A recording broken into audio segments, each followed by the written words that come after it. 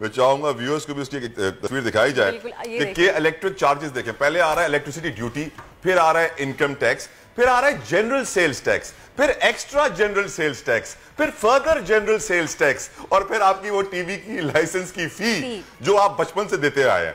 तो इंतहा जुल्म की इंतहा तलहा मुझे समझ नहीं आ रहा। हम तो बिल्कुल अनपढ़ जाहिल गवार हैं। हमें तो पता ही नहीं है कि general sales tax extra general sales tax और फर्दर जनरल सेल्स टैक्स क्या होता है? क्या प्लीज़